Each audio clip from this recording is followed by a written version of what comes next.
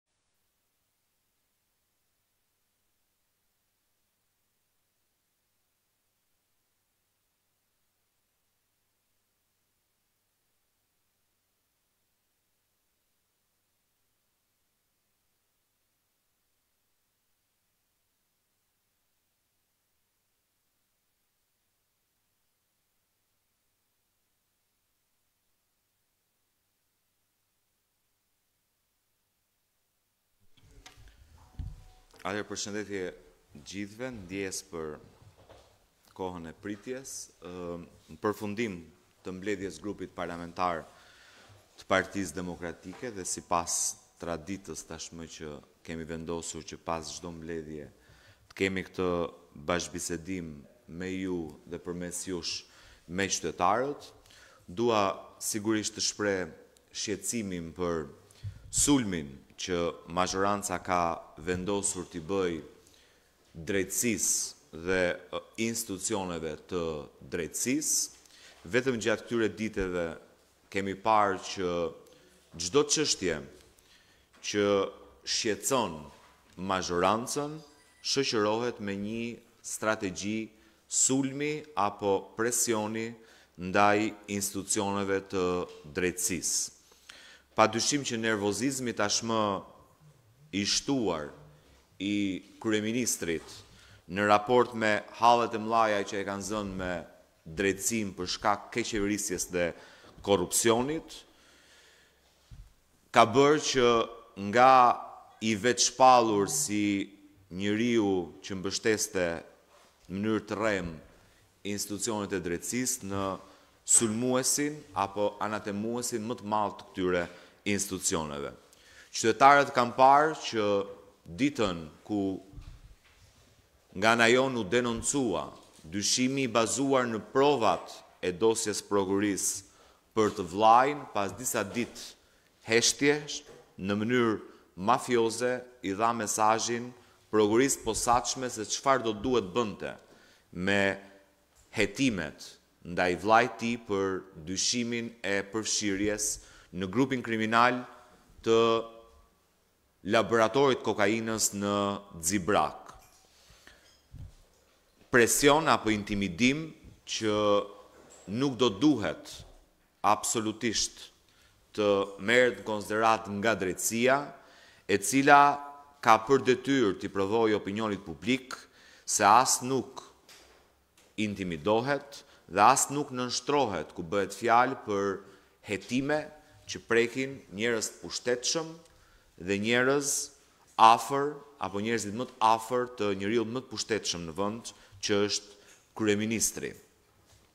Kemi parë gjithashtu një sulm të koordinuar mes kryetarit të Bashkisë së Tiranës dhe kryeministrit po ndaj prokurorisë të posaçme sa i takon korrupsionit të padëgjuar, të pashëmbullt në Bashkinë e Tiranës, ku ekipi drejtues i bashkisë, që drejtohet nga Erion Veliaj, njerëzit më të afërt të tij, bashkëpunëtorët e tij më të afërt, jo thjesht në bashki, por dhe shtabi i tij elektoral i zgjedhjeve të fundit, ishin përfshirë në një skemë korruptive ku paratë e buxhetit të Bashkisë Tiranës ia kalonin kompanive në pronësi të tyre.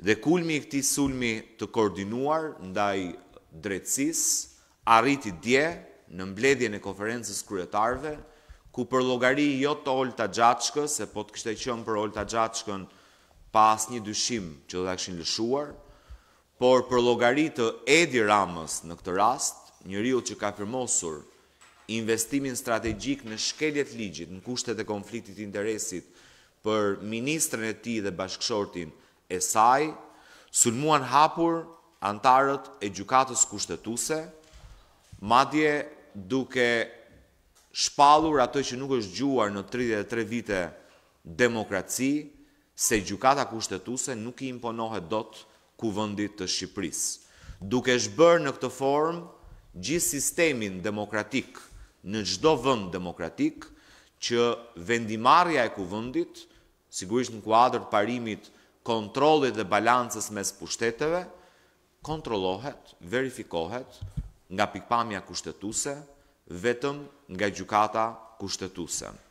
Qytetarët ishin dje dëshmitarë se si në mënyrë të strukturuar, ekzaktësisht si një grup me në krye Edi Ramën, kolegët e Partisë Socialiste në Konferencën e Kryetarëve, sulmuan vendimmarrjen e Gjykatës Kushtetuese që detyron Kuvendin të përcjellë për shqyrtim të thelluar papajtueshmërinë e mandatit të Olta Xhaçkës dhe skenari i përgatitur padyshim për moszbatimin e atij vendimi është edhe akti final i daljes zbuluar të kryeministrit që sa herë nuk i pëlqejnë vendimet e drejtësisë apo vendimet e organeve të drejtësisë që prekin interesat e tij të drejtpërdrejta, ai është i gatshëm t'i injorojë, t'i anatemojë, të mos i zbatojë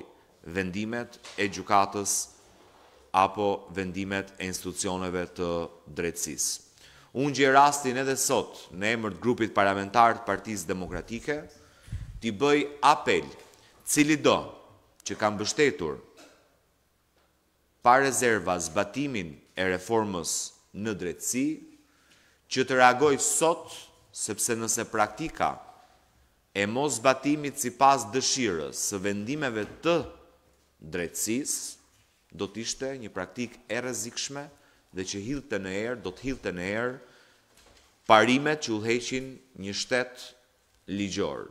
Nëse një mazhorancë i lejon vetes të mos zbatojë një vendim të Gjykatës Kushtetuese, atëherë çdo qytetar ka drejt t'i lejojë vetes që të mos zbatojë vendimet e gjykatave të tjera.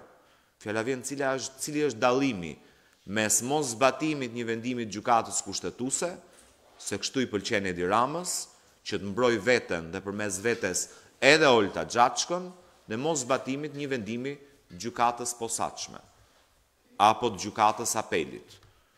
Nëse zbatimi i vendimeve gjyqësore është në dorë të individëve që preken nga këto vendime, atëherë çdo qytetar i Republikës së Shqipërisë është absolutisht në të njëjtën linjë që ngre atë flamurin e bardhë dhe thotë shpall pavarësinë ndaj shtetit shqiptar dhe unë nuk i zbatoj vendimet e gjykatave. Prandaj do të ishte një precedent i rrezikshëm dhe unë uroj shumë që deri të enjten Ka akoma orë përpara, mazhoranca të reflektojë, të tërhiqet nga porosia që i ka dhënë deputetëve saj për të mos zbatuar vendimin e Gjykatës Kushtetuese dhe të dorëzojë përpara drejtësisë fillimisht Olta Xhaçkën dhe më pas të gjithë zyrtarët publikë me në krye Edi Ramën që janë përgjegjës të shkeljes flagrante të ligjit dhe që kanë justifikuar në fakt një veprim tërësisht kundraligjshëm të grabitjes së pronave publike në bregdet. Sikundër kërkoj absolutisht vëmendjen e Prokurorisë Posaçme sepse moszbatimi i një vendimi gjyqësor, përfshirë këtu edhe Gjykatës Kushtetuese, do të ishte vepër penale dhe cilido që guxon apo i lejon vetes të vendosë në diskutim vendimet e gjykatës më të rëndësishme në vend, që është Gjykata Kushtetuese, do duhet mbajë përgjegjësi sipas Kodit Penal dhe ligjit përkatës për Gjykatën Kushtetuese. Këtë doja të ndaja si diskutim hyrës me ju të dashur bashkëqytetarë, duke qenë i sigurt që bashkë ndajmë shqetësimin që çdo cënim i vendimeve të Gjykatës Kushtetuese do të ishte një rrezik i shtuar për të drejtat dhe liritë themelore të qytetarëve. Gjykata Kushtetuese në një shtet si ky i joni po dhe në çdo vend tjetër anëtar të NATO-s është garant i Kushtetutës, është garant i të drejtave dhe lirive themelore të qytetarëve. Nëse qeveria apo mazhoranca do ta kishin me zgjedhje zbatimin e vendimeve të Gjykatës Kushtetuese, padyshim që kjo do të rrezikonte sigurinë e çdo qytetari, do të cënonte të drejtën e tyre për t'ju drejtuar Gjykatës Kushtetuese dhe përmes saj për të detyruar ekzekutivin apo pushtetin qendror që të respektonte të drejtat dhe liritë e tyre themelore. Po. Zoti Bardhi, Ardit Hoxha, Euronews. A ka sens dhe a mund të quhen ende në fuqi ajo marrëveshje, pakt apo akord që ju arritët me maxhorancën socialiste disa javë më parë në parlament, në kushtet kur frytet e disa nga frytet e këtij pakti, marrëveshje apo akordi që ju arritët, tashmë ose janë zhbërë ose po shkojnë drejt zhbërjes dhe këtu e kam fjalën ju nuk po respektoheni në parlament kur kërkoni kërkesa për interpelanca pra ju refuzohen në mënyrë arbritare arbitrare nga maxhoranca komisionet hetimore edhe pse nga ata shumë që kishit kërkuar vetëm dy u ngritën dhe këta dy që janë ngritur nuk po rezultojnë efektiv në parlament disa bllokohen dhe nuk mblidhen fare, disa të tjerë bëhet vetëm zhurmë dhe vetëm hetim parlamentar nuk ndodh dhe po ashtu nga ana tjetër nga maxhoranca socialiste vijon të jetë e njëjta qasje që ju rrëzohet çdo kërkesë apo nismë ashtu sikurse edhe ajo që ju përmendët sot pra që ka të bëjë me zonjë me mandatin e zonjës Xhaçka. Së pari po e nis nga kjo e fundit, mocioni i një të dhjetës deputetëve tashmë ka fituar legjitimitet përmes vendimit të Gjykatës Kushtetuese. Pra këtu nuk bëhet më fjalë për të pranuar mocionin e një të dhjetës. Këtu jemi përpara dilemës, jemi një shtet apo vend anëtar i NATO-s që zbatojmë vendimet e Gjykatës Kushtetuese apo jemi një vend anëtar i NATO-s që minojmë demokracinë përmes mos zbatimit të vendimeve të Gjykatës Kushtetuese se pas këtij momentumi padyshim nuk mund të flitet më për zbatim të reformës në drejtësi. Dhe çdo qytetar e përsëris ka të drejtën e tij që kur Edi Rama nuk zbaton vendimin e Gjykatës Kushtetuese të mos zbatojë vendimin e një gjykate të një shkalle tjetër. Se kur nuk zbatohen vendimet e Gjykatës Supreme pa diskutim që i jep të drejtën çdo qytetari të shpallë pavarësinë dhe mos të njohë më sistemin e drejtësisë në vend. Kur këtë model e jep mazhoranca që qeveris vendin, Pa dyshim që legjitimon çdo lloj sjellje të qytetarëve të zakonshëm. Sa i takon interpelancës, opozita nuk është në kuvend për t'i heqë frikën Edi Ramës. Opozita është në kuvend për të ushtruar përgjegjësitë e veta kushtetuese. Dhe një nga këto është kërkesa për interpelancë drejtuar kryeministrit.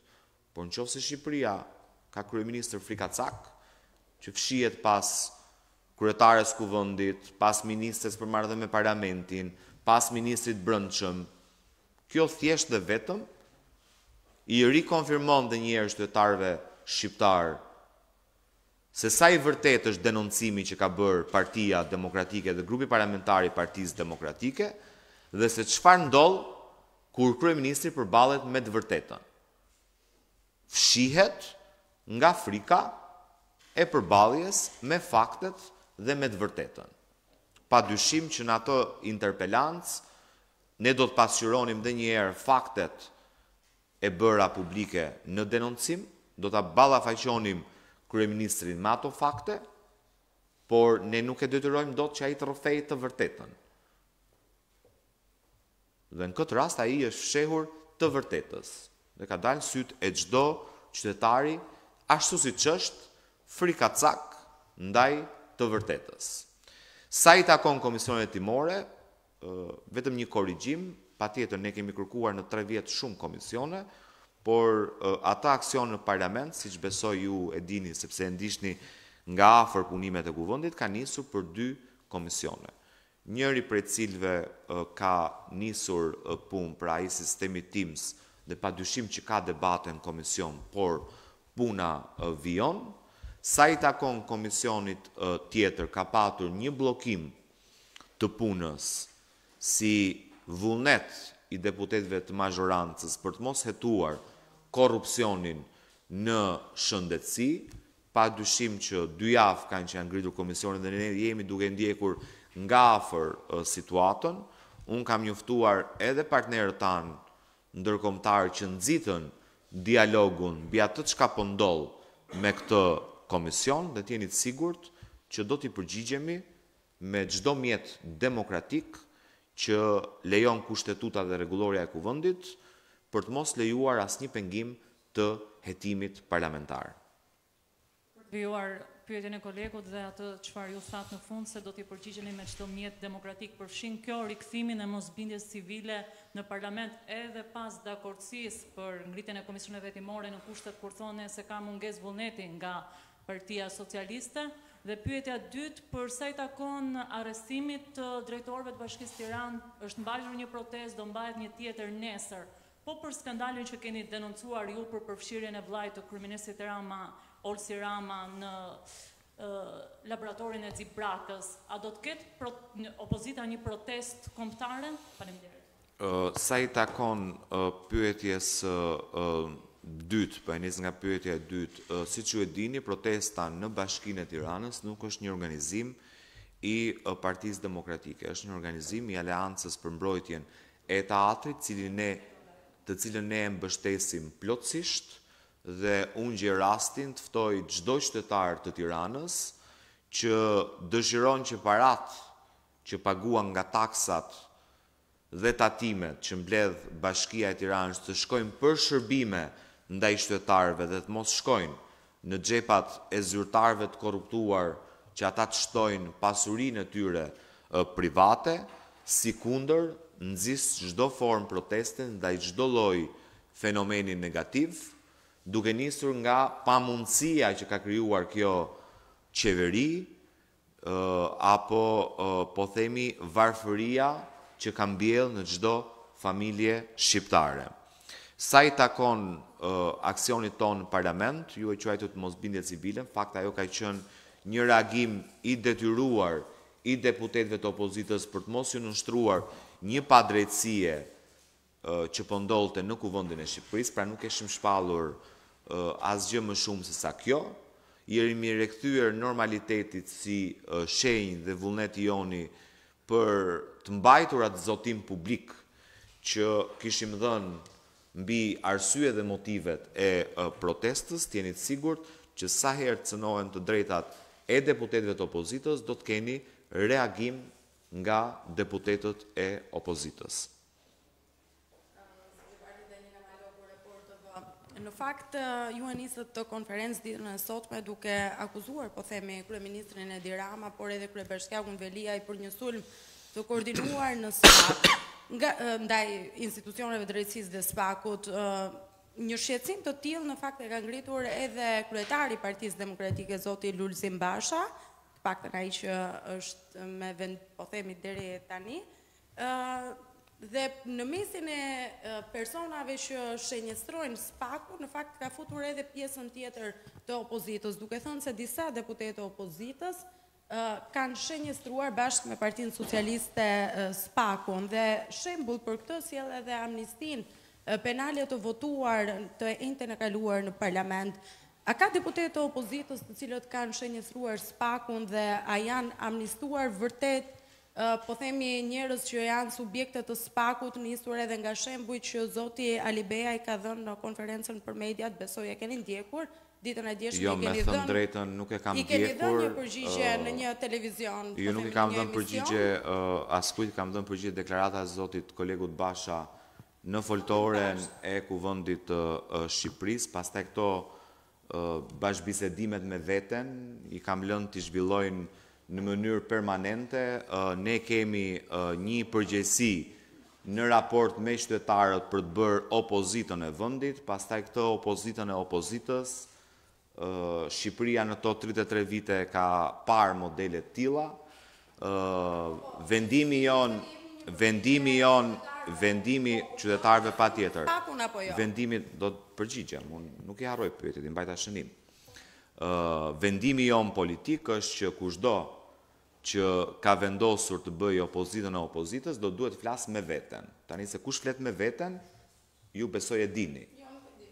Po besoj e dini se nuk je ë në ato nivele sa mos ditë se kush flet me veten. Dhe ne i kemi lënë të flasin me veten. Dhe do vazhdojnë të flasin me veten. Ë sa i takon ë kësaj që ju thoni në raport me qytetarët e Republikës Shqipërisë, do duhet dini që opozita nuk ka asnjë gjë në dorë për të ushtruar presion ndaj institucioneve të drejtësisë. Nuk kemi gjë në dorë ne. Ne nuk kemi as pushtet me cilin intimidojmë, nuk kontrollojmë as po themi institucione shtetërore me të cilat mund t'i bëjmë presion institucioneve të drejtësisë. I vetmi apo të vetmit që kanë mekanizma presioni ndaj institucioneve të drejtësisë është pushteti, është kryeministri. Vetëm një njeri i pushtetshëm mund t'i ushtrojë presion institucioneve të drejtësisë. Opozita edhe atë imunitet parlamentar që kemi e kemi bërë qartë sa herë të jetë i nevojshëm për t'ju vënë në dispozicion institucioneve të drejtësisë absolutisht Jemi në dispozicion, nuk kemi asnjë mbrojtje dhe asnjë mekanizëm për të ushtruar presion ndaj SPAK-ut. Ajo që ne kemi bërë, ndryshe nga këta që flasin me veten, sa herë kemi patur çështje që gjykojmë që do duhet të jenë lëndë e drejtësisë, i jemi drejtuar drejtësisë.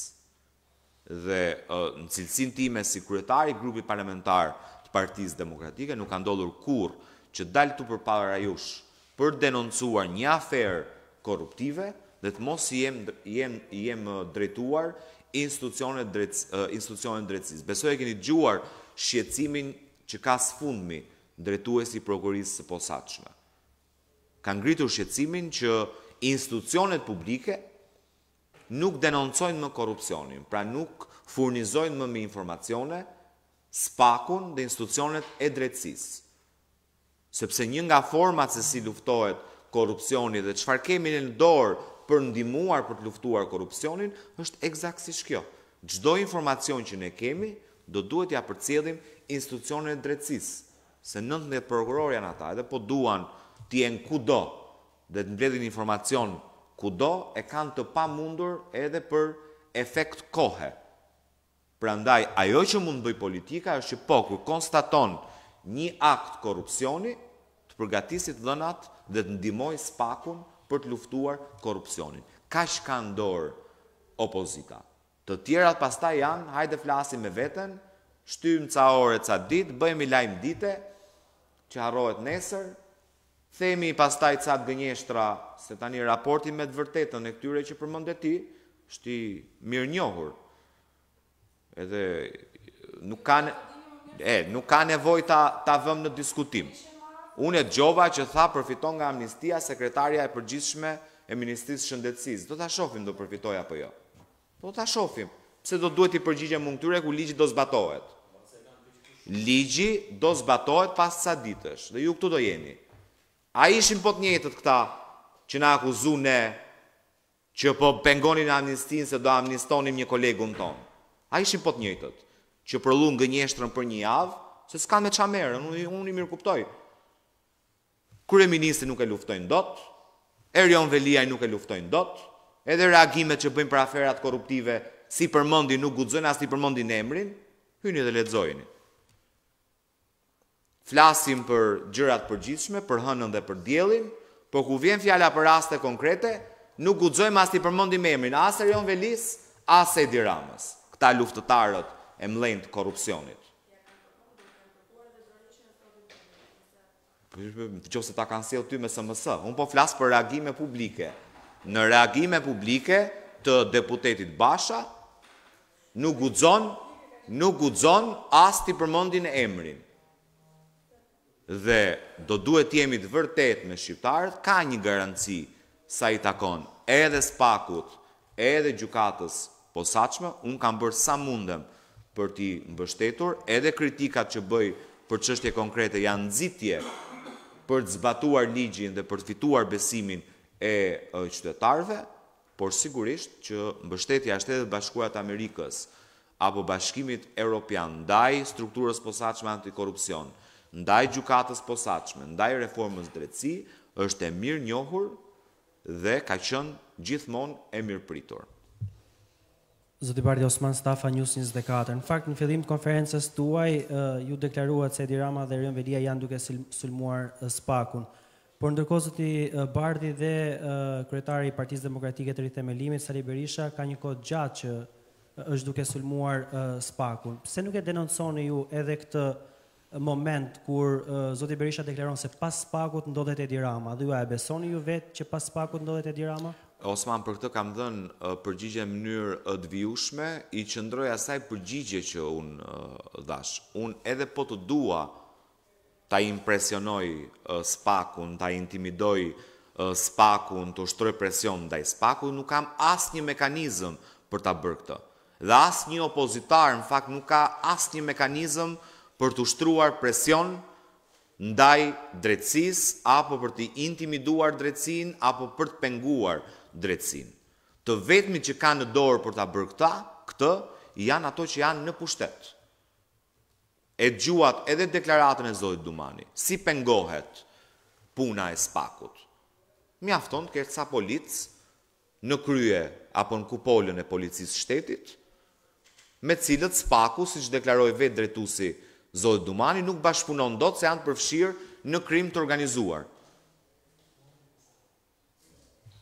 Në këtë formë ti pengon punën e SPAK-ut, se SPAK-u nuk mund të bëjë edhe prokurorin, edhe oficerin e policisë gjyqësore, edhe policin vëzhgues, edhe mbledhësin e të dhënave, edhe analizuesin e të dhënave, se prandaj janë të ndara detyrat në një shtet që funksionon normalisht.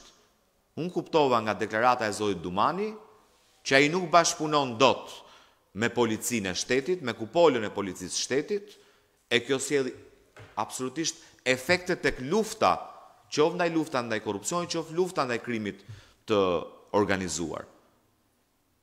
Sepse SPAK-u nuk mund të zëvendësojë policinë e shtetit edhe nëse do të dëshironte. Dhe kjo është një nga format pse unë thashë e vetmja apo të vetmit që kanë në dorë për të penguar, për të ushtruar presion, për të intimiduar institucionet e drejtësisë janë ata që janë në pushtet. Me fjalë dil fol sa duash ti nga mëngjesi deri në darkë, as impresionohet, as intimidohet, as ushtrohet presion. Ama po, pushteti ka mekanizma me të cilat ushtron presion ndaj institucioneve të drejtësisë. Pra për ta vazhduar, dakord për çfarë ju thatë dhe po ecim me logjikën tuaj, por në parim dhe sa takon sa i takon parimit në një politikani, A ndaheni ju me zotin Berisha sa i takon akuzave që ai ka bërë ndaj SPAK-ut? Referohu deklaratës së Gazmend Bardhit të datës qëndrimet e politikanëve zoti Bardhi ndryshojnë me kohën Referohu mund të jepni përgjigje tani Referohu Po ta jap pra përgjigjen Referohu deklaratës së Gazmend Bardhit në datën pesë mars kur ne kemi vendosur të bashkohemi në Partinë Demokratike. I qëndroj asaj deklarate që kam bërë. Tani unë nuk mund të konfirmoj sa herë të njëjtat gjëra në çdo konferencë apo në çdo dalje timen publike. Kur të kem ndryshim qëndrimi, do jem këtu përpara jush për të thënë qëndrimin e ri edhe arsyet e qëndrimit të ri. Sot jam për këtë dhe më vjen keq që ju nuk shqetësoheni dhe nuk keni asnjë pyetje duke ju kërkuar ndjesë që po e them këtë, se si ka mundësi në vitin dy mijë e njëzet e katër vihet në pikëpyetje zbatimi i vendimeve të Gjykatës Kushtetuese. Ky do duhet të jetë shqetësimi, ky do duhet të jetë shqetësimi i secilit prej nesh, sepse është formë Është formë, ju kërkova ndjesë pra. Nuk ju imponova pyetjet, ju kërkova ndjesë që po e ngrej si shqetësim. Pra siç ngreni ju shqetësime në raport me mua, më lejoni të ngrej dhe unë një shqetësim në raport me ju. Dashamirës gjithmonë. Ë, pra, të injorosh zbatimin e vendimeve të Gjykatës Kushtetuese është absolutisht një mesazh mafioz ndaj gjithë sistemit drejtësisë. Po injorove vendimet e Gjykatës më të Lartë, do të thotë që nesër ti mund të injorosh çdo vendim të shkallës parë, të Apelit apo të Gjykatës së Lartë. E përsëris, ça dallimi ka mes një vendimi të Gjykatës Posaçme Antikorrupsion dhe një vendimi të Gjykatës Kushtetuese? Janë të dyja vendime drejtësie, janë të dyja vendime që sipas Kushtetutës janë të detyrueshme për zbatim, janë të dyja vendime që nuk varet zbatimi i tyre nga vullneti i atyre që janë në qeveri. Do të qëndrojë tek e njëjta çështje, tek çështja e SPAK-ut. E Gjykatës Kushtetuese?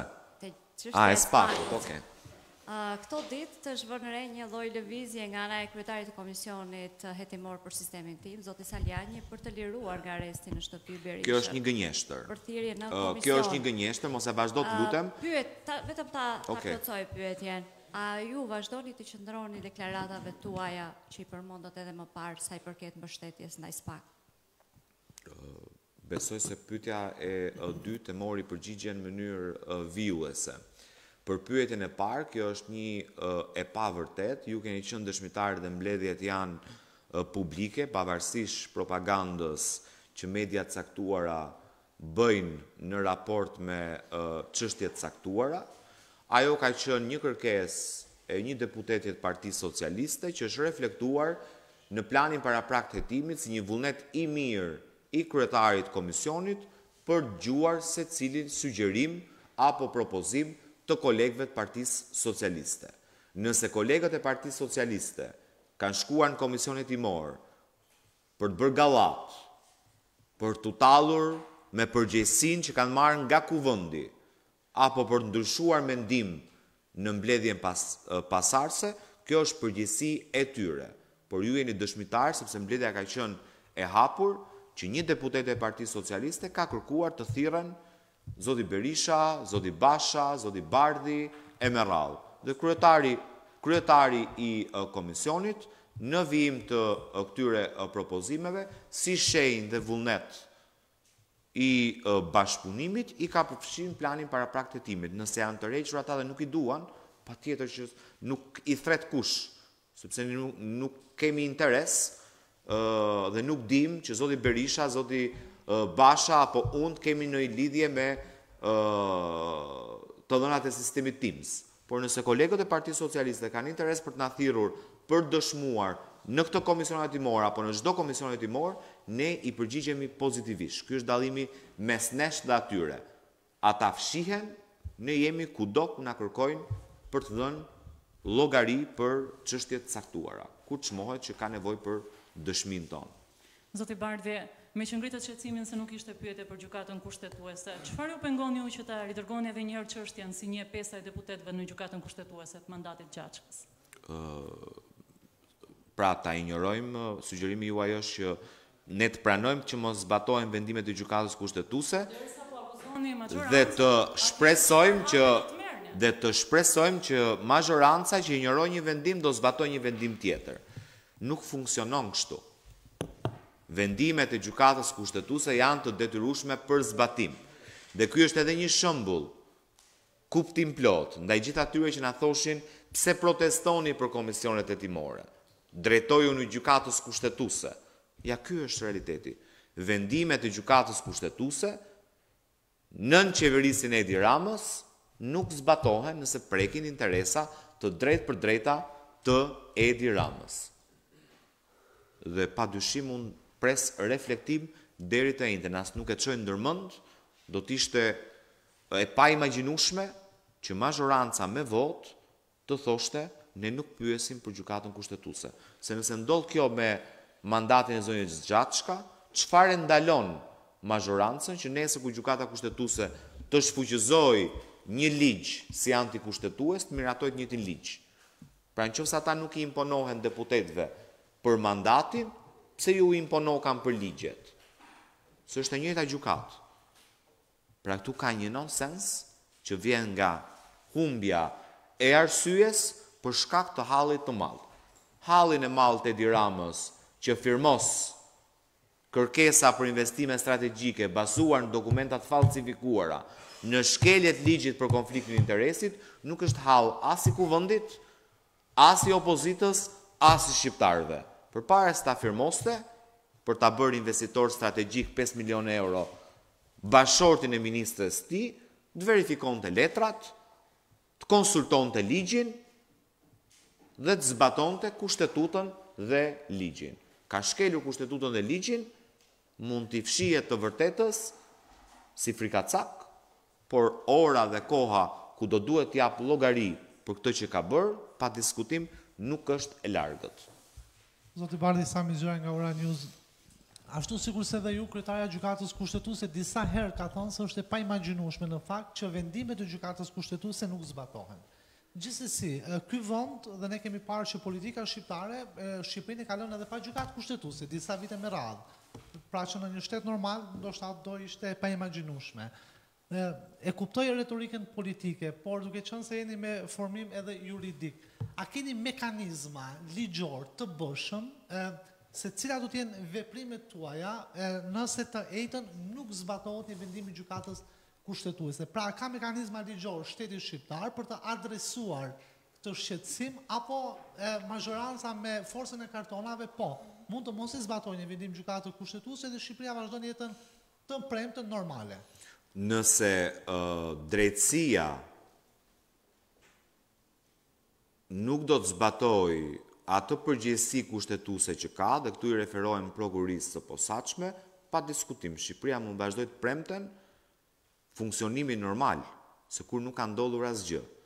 Nëse këtu ka drejtësi dhe ka prokurori, cilido deputet që ngre kartonin për të refuzuar zbatimin e një vendimi të Gjykatës Kushtetuese, kryen krim në flagrancë. ka një vepër të posaçme, madje dy Kodi ynë penal, për pengimin e zbatimit të vendimeve gjyqësore. Dhe Ligji për Gjykatën Kushtetuese, neni tetëdhjetë e një i Ligjit për Gjykatën Kushtetuese, thotë se moszbatimi apo pengimi për të zbatuar vendimet e Gjykatës Kushtetuese dënohet sipas Kodit Penal. Prandaj cilido që pengon zbatimin e një vendimi të Gjykatës Kushtetuese, kryen krim. Pastaj është detyrë e drejtësisë të na provojë që nuk ka krim që kryhet në sytë e opinionit publik që mbetet i pandëshkuar. E përsëris, frika e Edi Ramës për përgjegjësinë që pason për vendimmarrjen e tij në këtë rast nuk mund të diktojë vendimmarrjen e Kuvendit. Patë ju dje mbledhjen e Konferencës së Kryetarëve, kishin hyrë në mbledhje, duhet të kishte qenë i zënë Edi Rama dhe nuk ishte përgjigjur në telefon dhe nuk dinin çfarë vendimi të merrnin. Fliste njëri, ngriheshe tjetri, nuk morën asnjë vendim. Pra na mblodhën në në Këshillin e, e Mandateve për të marrë vendim dhe meqenëse nuk e kishte thënë Edi Rama çfarë vendimi të merrnin, nuk morën vendim, se s'dinin çfarë vendimi të merrshin. ndërkohë që janë betuar për të respektuar Kushtetutën dhe do duhet të respektojnë Kushtetutën. Olta Xhaçka ka shkelur ligjin, do duhet të mbajë përgjegjësi. Edi Rama ka shkelur dy herë më shumë sesa Olta Xhaçka ligjin, duke i dhënë status investitori strategjik në kushtet e konfliktit të interesit dhe në një pronë publike të marra me dokumenta të falsifikuara. Ka pas përgjegjësi ta verifikojë. Prandaj është kryeministër. Ka në varësi kadastrën. Atë që verifikoi SPAK-u për një javë, kryeministri e verifikon për një ditë, nëse dëshiron. Aq më tepër me këtë sistemin e patronazhistëve që ka. Që din çfarë han çdo qytetar mëngjes drekë darkë n'shpi t'vet, po nuk di që po grabiten njëmbëdhjetë mijë metër katrorë pronë publike që t'i përfitojë burri i ministres së tij. Ka shqiptar që e beson këtë? Isha dje me nji biznesmen. Më ra n'dorë tha sistemi i patronazhistëve.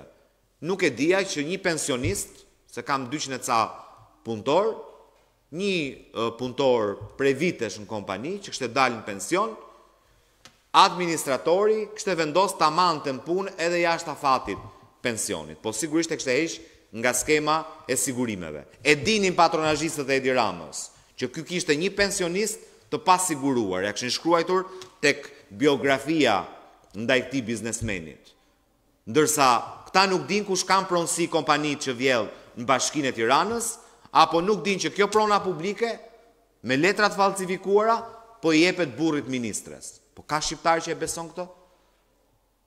Ka shqiptar që nuk e dinë që Erion Veliaj ka qenë absolutisht në dijeni? Një njeri që nuk është në dijeni, Unë nëse nuk jam në dijeni për diçka, kur ballafaqohem me një fakt, nuk them është i pavërtetë, nëse nuk dua ta fsheh. Them u njoha sot me faktin, do ta verifikoj.